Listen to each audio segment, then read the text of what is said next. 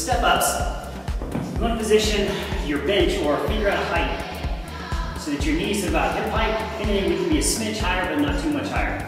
Getting this height up, will be tapped tap into more of those lower fibers and glutes. Big thing for me is keeping an eye on control through the leg. Oftentimes I see people go with either too much weight, too much height on the step, and as they go up, that knee really buckles in, buckles in coming down, and the hips drop out.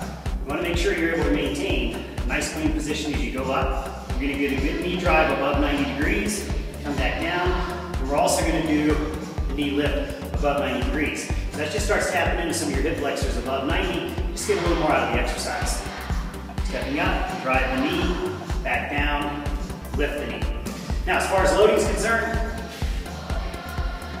you have your bilateral position load. You can also go bilateral at shoulder height, bilateral overhead. We're gonna go unilateral, load on the opposite side of the up leg. Shoulder height.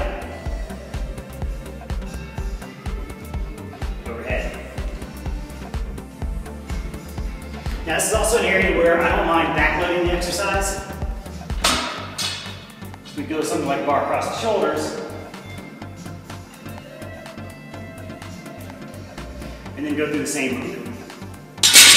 So the big keys are, make sure you have the appropriate height, make sure you're able to control that leg position, and stay nice and neutral through the lumbopelvic region.